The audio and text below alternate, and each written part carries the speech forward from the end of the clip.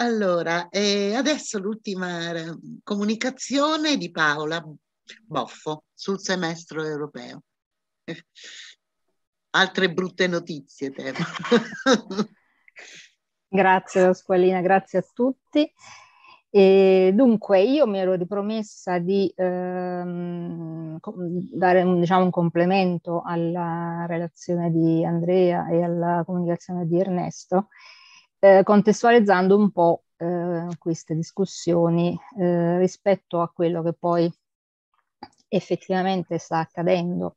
in questi mesi, in queste settimane e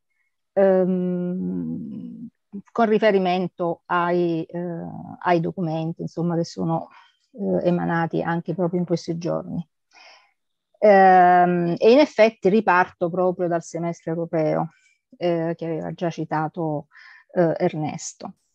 Eh, il semestre europeo, eh, come sappiamo,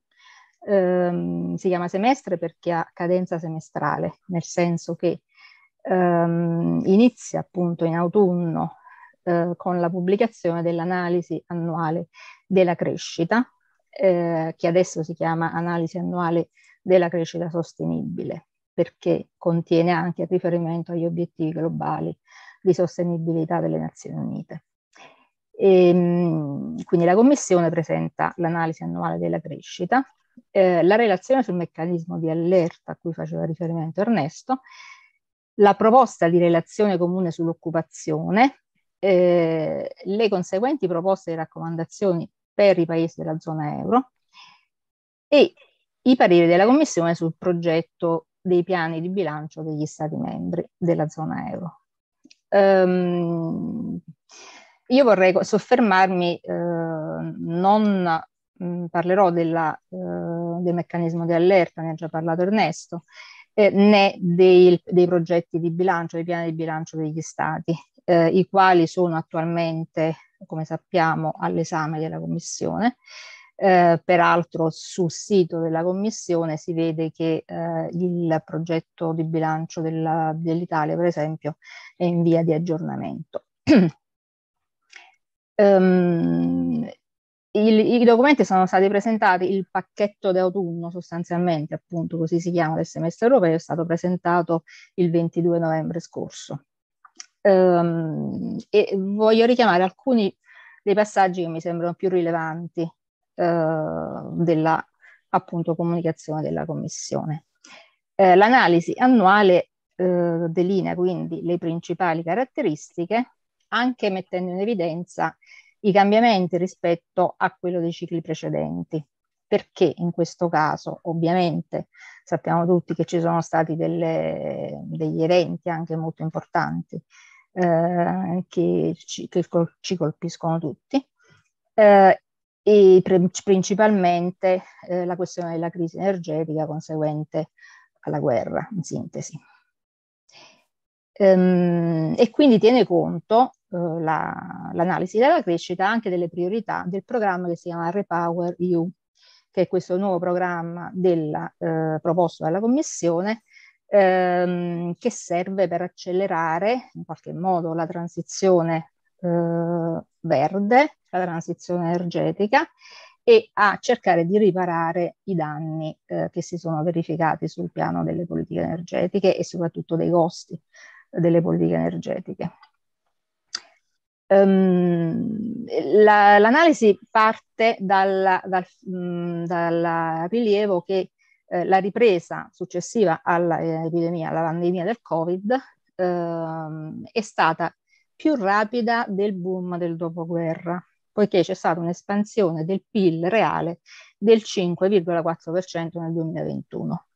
Eh, ricordiamoci sempre che eh, stiamo parlando dell'Unione Europea, cioè tutti questi dati si riferiscono all'Unione Europea nel suo complesso e ovviamente vanno invece poi articolati eh, sui casi dei diversi paesi. Um, la Commissione ci dice che uh, l'inflazione però sta erodendo il potere d'acquisto delle famiglie, poiché ha di molto superato la crescita dei salari e ha quindi un impatto negativo sui consumi. Uh, e dice le, uh, testualmente che gli aumenti dei costi le interruzioni della catena di approvvigionamento e le condizioni di finanziamento più rigide stanno pesando sugli investimenti, e cioè che eh, le politiche sostanzialmente monetarie di stretta sui, sui tassi di interesse eh, di fatto hanno delle conseguenze negative sugli investimenti e quindi sulla potenziale diciamo, di crescita, di ripresa dell'economia. Ehm, nel 2024 si prevede che il debito pubblico, il rapporto debito pubblico-PIL nell'Unione Europea nel suo complesso, eh, che era aumentato notevolmente, si dovrebbe invece stabilizzare nel 2024 appunto sull'84% del PIL. Ehm, vabbè, rapidamente, non so se si... Ecco, vi volevo far vedere questo grafico in cui eh, si rappresentano i debiti dei diversi Stati membri. Questo è il debito del 2020. Eh, il primo, la prima colonna si riferisce alla Grecia, la seconda è, si riferisce all'Italia. E quindi l'Italia sta a 160%, credo, stava nel 2020.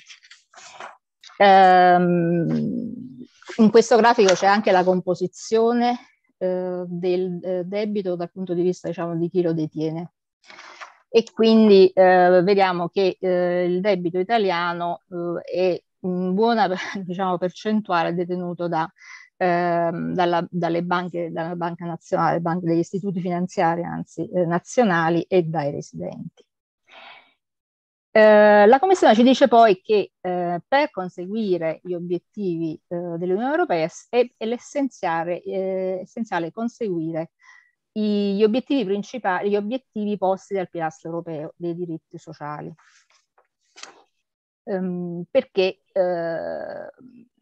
questi obiettivi, poi vediamo meglio nel dettaglio, posti in materia di occupazione, competenze e riduzione della povertà. Um, e mette in evidenza poi la, questo, questa comunicazione che la risposta che viene data eh, alla eh, politica di, della crisi energetica ehm, chiaramente richiede una combinazione di sforzi sia a livello nazionale che a livello di Unione Europea e eh, questi sforzi possono essere supportati sia dal bilancio europeo che da Next Generation EU. Sappiamo che Next Generation EU ha un importo complessivo che raggiunge circa 800 miliardi di euro e quindi in qualche modo è quasi pari al, eh, all'entità del bilancio europeo per il ciclo 2021-2027, anzi come sappiamo eh, è anche più accelerato perché Next Generation deve essere completato entro il 2026. Um, e oltre al supporto dal punto di vista finanziario, ovviamente, ehm, questi, il programma sostanzialmente, la, come sappiamo, la maggior parte di Next Generation EU è costituito dal dispositivo per la ripresa e la resilienza che finanzia i piani nazionali eh, di ripresa e resilienza che sono finalizzati a finanziare investimenti, prevalentemente investimenti pubblici, e eh, un ambizioso programma di riforme. Finora eh, nell'ambito di, di, questo dispositivo sono stati erogati 100, 137 miliardi di euro, quindi sostanzialmente diciamo, a sostegno delle economie, ehm, e i, contemporaneamente i programmi per la politica di coesione de, dopo la, da, dalla pandemia hanno erogato oltre 160 milio, miliardi di euro per eh, promuovere la convergenza sociale e regionale. Quindi eh, è importante sottolineare il fatto che il eh, dispositivo per la ripresa e la resilienza ehm, è strettamente integrato al semestre europeo. Ormai diciamo che eh, nel semestre europeo si valutano i progressi fatti Ehm, nell'ambito dei piani nazionali di ripresa e resilienza. E quindi c'è un supporto dal punto di vista finanziario eh, che va poi monitorato e controllato nell'ambito del semestre europeo. Um, eh, gli stati, dicevamo prima, che contribuiscono allo sforzo eh, basato sul bilancio europeo e sul eh, e sul dispositivo per la ripresa e la resilienza, cosiddetto Recovery Fund, e, ehm, per, eh,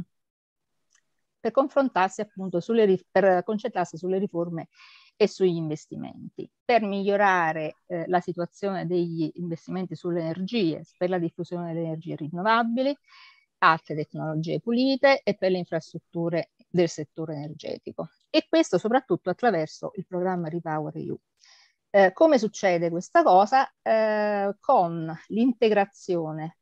all'interno dei piani nazionali di ripresa e resilienza di nuovi capitoli, cioè un nuovo capitolo per, per ciascuno Stato membro, ehm, finanziato dalle risorse di Repower EU e finalizzato a rafforzare le politiche in campo energetico di resilienza del, delle infrastrutture energetiche e per il cambiamento verso le fonti rinnovabili, diciamo molto in sintesi. Eh, ora, questo significa che eh, quello che anche l'attuale governo sta sostenendo eh, sulla volontà di modificare il piano nazionale di ripresa e resilienza è in realtà già scritto diciamo, nelle carte, poiché bisogna comunque eh, fare questa operazione introducendo un nuovo capitolo, si sta già facendo eh, nel piano nazionale che poi sarà approvato dalla Commissione, in realtà sarà scritto insieme alla Commissione sostanzialmente. Um, quindi eh, si evidenzia appunto che esistono queste forme di supporto, soprattutto dal punto di vista finanziario, finanziario. Um, nel documento si, si, parla delle politiche attualmente vigenti. Uh, un altro elemento da tenere in considerazione è quello che si chiama eh, Social Climate Fund, cioè un nuovo fondo che la Commissione ha proposto nell'ambito del pacchetto Fit for 55, e cioè diciamo della, ehm, del Green Deal europeo, eh, che serve a finanziare, eh, a, a supportare gli stati nel finanziare i costi della transizione energetica. Sostanzialmente eh, saranno stanziati e eh, il regolamento attualmente si trova nella fase di trilogo di cui ha parlato all'inizio eh, Andrea, e, mh, per un importo di 59 miliardi eh, per finanziare eh, l'efficientamento energetico, eh, il rinnovamento degli edifici, eh, i trasporti a bassa emissione e sostanzialmente supportare le famiglie eh, soprattutto le famiglie più a basso reddito, quelle che si trovano più esposte dall'aumento dei costi, oltre che eh, dalla trasformazione dell'industria sostanzialmente quando si passa dal carbonifero diciamo, all'industria verde che ovviamente necessita di ristrutturazioni eh, ambientali, eh, aziendali e ristrutturazioni proprio di settori, eh, di interi settori produttivi. Um, il tasso di occupazione. Allora, dicevamo che ehm, in, questo, in questa tornata del pacchetto d'autunno la Commissione propone anche una, eh, fa una proposta per, eh, di relazione comune sull'occupazione. Come sappiamo, come abbiamo detto prima, che la Commissione ha potere di iniziativa e quindi fa proposte che devono essere poi approvate dal Parlamento e dal Consiglio. E quindi tutto questo, eh, quello di cui stiamo parlando adesso sarà poi approvato nel Consiglio che si terrà il 15 dicembre prossimo sostanzialmente, ehm, poiché il Consiglio poi assumerà diciamo, la, eh, le proposte eh, della Commissione, però sostanzialmente i contenuti poi delle proposte sono, eh, sono questi che, eh, che stiamo vedendo ora. Um, allora, il, dal punto di vista dell'occupazione, eh, la Commissione ci dice che nel 2021 eh, il tasso di occupazione ha, ha raggiunto il record del 74,8% nel secondo trimestre del 2022, che eh, tuttavia il tasso dei giovani cosiddetti net, cioè non in eh, occupazione, non in formazione, eh, e comunque permane elevato all'11,7% nel secondo trimestre del 2022. Su questo attraggo la vostra attenzione sul fatto che stiamo parlando di un dato medio europeo e quindi possiamo immaginarci, cioè adesso non ho sotto mano i dati, però quali sono i dati effettivi per l'Italia, quali sono i dati effettivi per, l'Ita- per l'Italia del Sud e per le regioni più arretrate del Sud. Eh, non ho appunto sotto mano questo dato, ma siamo sicuramente intorno al 30% perlomeno. Eh, il rischio di povertà è rimasto più o meno eh, invariato rispetto al periodo della pandemia, eh, ma il che significa che comunque una persona su cinque è a rischio di povertà. Ehm, e, e, mm, allora cosa succede? Succede che la, la, ripresa del mercato del lavoro da un lato, eh, ma eh, e, e, la stabilità di questi indicatori sociali eh, riflettono l'impatto positivo delle misure che sono state adottate. D'altra parte, ehm, questa, appunto questo, il supporto che è stato dato comprende da un lato il sostegno del, dell'Unione Europea, da un lato eh, l'effetto stabilizzante dei sistemi di welfare, anche soprattutto nazionali, e dicono le riforme strutturali che sono state attuate nell'ultimo decennio. Tuttavia, la stessa Commissione fa notare che si prevede che gli effetti sull'occupazione differiscono significativamente per settore per genere e per regione. Eh, poi sollevano obiezione sul fatto che eh, oltre il 70% delle misure di sostegno comunque sono state misure eh, orizzontali, cioè non sono state mirate su specifici settori eh, magari a cui erano direttamente, per, quali, per i quali erano, direttamente, erano più necessari. E quindi avverte che è sempre più importante che queste misure invece siano mirate alle famiglie vulnerabili e che si mantengano gli incentivi per ridurre il consumo delle energie da un lato e per promuovere quindi l'efficienza energetica dall'altra. Ehm, bisogna riorientare le misure di supporto anche perché, eh, cito,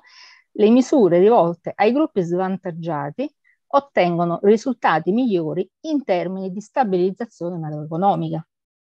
Sappiamo che eh, il cosiddetto, cioè insomma, eh, la propensione al consumo eh, delle fasce più deboli della popolazione è, eh, si avvicina al 100%, diciamo, perché ovviamente i redditi sono prevalentemente eh, impiegati nel consumo, a differenza che in altre classi più alte dove invece c'è una cura di risparmio eh, più importante. Eh, aggiungo che eh, a proposito di propensione al consumo, eh, come sappiamo, propensione al consumo uguale a 1, cioè 100%, è proprio della pubblica amministrazione, ovviamente, perché spende, poi investe tutto quello eh, che entra. Eh, direi che propensione al consumo pari a 1 è anche quella dei percettori del reddito di cittadinanza, poiché percepiscono un assegno che possono solamente spendere e non possono assolutamente risparmiare. Um, la crescita dei salari, eh, tra- cioè in realtà qua si tratta di crescita di quota dei salari perché dice che è stata trainata principalmente dall'aumento delle ore lavorate rispetto al periodo chiaramente Covid, eh, e però è rimasta al di sotto dell'inflazione. E quindi una contrattazione collettiva efficace è fondamentale. Eh, e quindi è fondamentale l'aggiornamento dei salari minimi.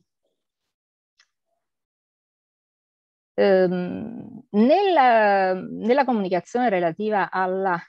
eh, all'occupazione che consiglio di leggere, qui non ho eh, chiaramente nel tempo, nel modo di approfondire troppo, ehm, si, si raccontano, si richiamano gli obiettivi eh, dell'Unione Europea per il 2030 in materia di occupazione, competenze e riduzione della povertà. E c'è la eh, tabellina che si trova nella, in questa comunicazione, dove si vede che l'obiettivo al 2030 per l'occupazione è pari al 78% a livello Unione Europea. Eh, l'obiettivo di percentuale di, di adulti ehm, in, con, con, con, una eh, educazione terziaria, quindi alla laurea, diciamo, deve essere pari al 60% e che si prevede, ci si pone l'obiettivo di ridurre la povertà di 15 milioni di individui. Eh, in Italia ci si è posti rispetto a questi obiettivi eh, un tasso di occupazione del 73%, un tasso allo stesso modo eh, dell'educazione terziaria di 60% e una riduzione delle persone in povertà di 3 milioni 200 mila persone. Ehm, vabbè, andiamo avanti un po' più velocemente. Ehm, nel 2022 l'orientamento del bilancio è stato espansivo, come abbiamo visto, eh, poiché gli Stati membri hanno adottato delle azioni rapide ma non sufficientemente mirate. Probabilmente, diciamo, fra le due cose c'è un trade-off. Eh, per attenuare l'impatto delle crisi. Um, queste misure sono state misurate nell'1,2% del PIL dell'Unione Europea. Um,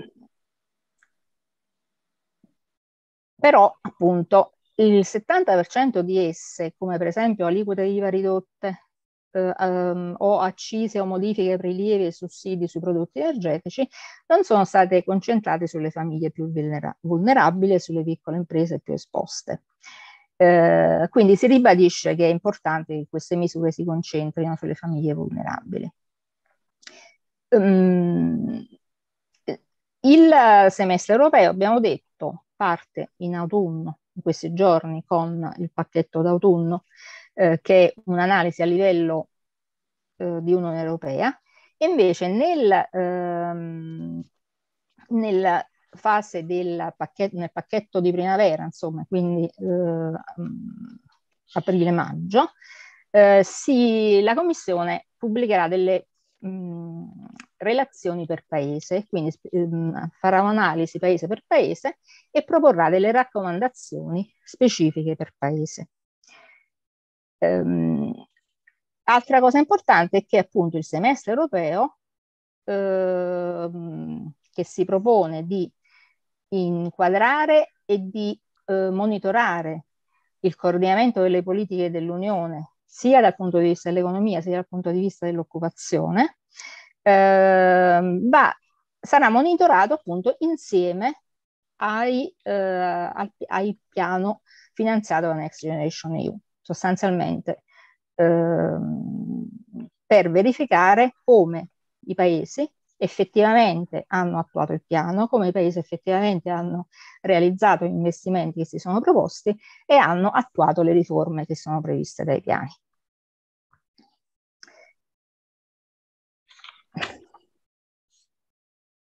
Eh, infine vorrei, eh, dovrei leggere in realtà le cinque raccomandazioni che, il, eh, che la Commissione propone, cioè che la Commissione raccomanda al Consiglio di adottare e, e che riguardano la prima il coordinamento delle politiche fiscali fra gli Stati membri per sostenere il tempestivo ritorno dell'inflazione all'obiettivo a medio termine del 2% della BCE. Sarà, diciamo, una cosa abbastanza ardua da perseguire. Ehm, concordando un approccio comune so, eh, so, supportando le misure tariffarie su base ampia, vabbè salto un po' perché sennò prendo troppo tempo, ehm, e definire strategie fiscali di medio termine opportunamente differenziate per aumentare il potenziale di, cres- di crescita in modo sostenibile. La seconda raccomandazione riguarda eh, la necessità di sostenere un livello elevato di investimenti pubblici che sono necessari per rafforzare la resilienza economica e sociale e per sostenere la transizione verde e digitale. Um, la Commissione e conseguentemente il Consiglio eh, raccomanda di attuare i programmi della politica di coesione e i piani per la ripresa e la resilienza, garantendo la tempestiva attuazione delle riforme e degli investimenti e garantendo che gli aggiornamenti dei piani siano mirati e non riducano l'ambizione complessiva. Infine, cioè non infine, ma la terza raccomandazione riguarda la parte eh, più eh, nel mercato del lavoro e, e, la parte sociale. conformemente alle prassi nazionali nel rispetto del ruolo delle parti sociali, sostenere l'evoluzione salariale che eh, attenui la perdita dei poteri d'acquisto dei salariati, in particolare per i lavoratori a basso reddito, riflettendo nel contempo l'evoluzione della produttività a medio termine e limitando gli impatti secondari sull'inflazione. Inoltre, sviluppare e adattare, ove necessario, i sistemi di sostegno sociale per aiutare le famiglie vulnerabili ed affrontare lo shock energetico e la transizione verde digitale, affrontando l'aumento del rischio di povertà. Migliorare ulteriormente le politiche attive del mercato del lavoro e adottare misure per affrontare le carenze di competenze. Garantire l'effettivo coinvolgimento delle parti sociali. Quarta raccomandazione riguarda il sostegno alle imprese, eh, soprattutto le piccole e medie, che sia conveniente, temporaneo e mirato ad imprese solide. Eh, quindi il sostegno fornito dovrebbe mantenere gli incentivi per l'efficienza energetica e preservare la parità di condizioni e l'integrità del mercato unico, anche attraverso il quadro temporaneo di crisi per gli aiuti di Stato. Eh, contribuendo al progresso verso l'unione dei mercati dei capitali. Infine, la quinta raccomandazione eh, è, riguarda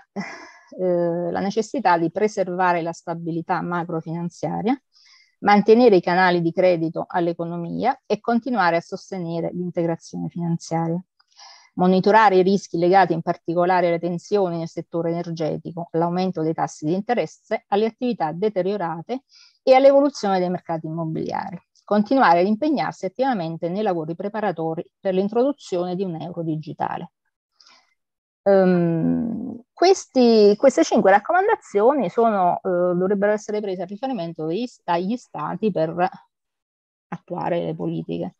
uh, in, campo, in, campo, economico, ma anche in campo di, mh, per quanto riguarda il mercato del lavoro e, eh, e, e l'intervento nella, nel sociale. Eh, in realtà eh, di solito questi aspetti non sono contenuti eh, nelle raccomandazioni generali del Consiglio eh, del semestre europeo, ma piuttosto appunto nella comunicazione sull'occupazione, più specificamente dove c'è anche una serie di, di, di raccomandazioni molto più puntuali. quindi diciamo che è abbastanza importante questo, questo aspetto, che in qualche modo già in questa fase, diciamo, rispetto al progetto di bilancio, insomma, di, di legge finanziaria che attualmente è in discussione in Italia, eh, ri, rileva, diciamo, delle, delle contraddizioni, diciamo, in questo senso. Eh, io mi fermerei qui, eh, anche se, diciamo, avevo rilevato un altro paio di cose che erano mh, abbastanza interessanti, sia sul finanziamento di Next Generation, in particolare sulla composizione della, dell'indebitamento della Commissione eh, per finanziare Next Generation EU, eh, perché eh, mercoledì scorso, 23 eh, novembre, il Parlamento ha eh, tra l'altro eh, una, una, insomma, approvato la sua posizione eh, sulla decisione sulle risorse proprie che riguarda la modalità di finanziamento della, ehm, del bilancio europeo, ehm, dove si introdurranno nuove fonti di reddito. Ehm, e poi mi è capitato di, di leggere un parere della Corte dei Conti relativo a una proposta, sempre della Commissione, di modifica del regolamento finanziario dell'Unione Europea ehm, dove si vuole introdurre una norma che, che è finalizzata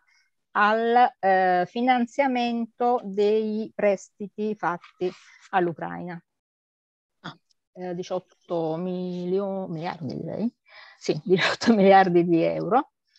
ehm, sulla, quale, sul quale, sulla quale proposta la Corte dei Conti diciamo, solleva delle obiezioni abbastanza consistenti non tanto per la destinazione diciamo, de, eh, dei fondi, ma perché ehm, si vogliono eh, finanziare mediante un'operazione sul bilancio eh, che rischia di mettere in discussione di avere delle ricade- ricadute sui bilanci successivi nel caso in cui questi prestiti non fossero rimborsati nei tempi previsti. E di tutto ciò, forse se riesco a farlo,